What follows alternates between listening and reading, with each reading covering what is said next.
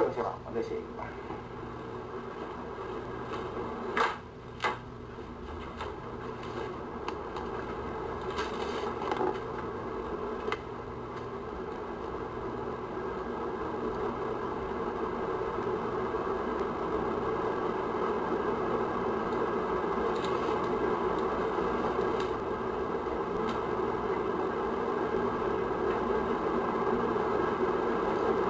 个。王阳学呢有这一笔，他是把四个数写上这一竖通下来，这么一写。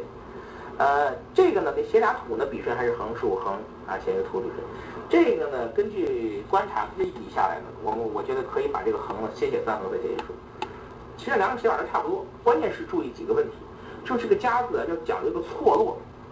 这一竖笔往往是高扬的，那它就要高出去。这一竖也同样，竖笔高扬高出去，底下要空着。这俩是有一个错位，所以这个横不要超过这一竖的这个边界，注意千万不要超过这一竖的边界啊！所以这个加字关键写好就是这个上去。一般来说，我们这个右边是主要部分，主要部分往往呃都是要低下来的。这个确实是个例外，它这边上去高，这边空下来。哎，你要不这么写，反过来这反而倒不好看了。你跟它这边往上低，你跟它平就感觉没精神啊，反而倒不好看了。往下这个一定要差一点。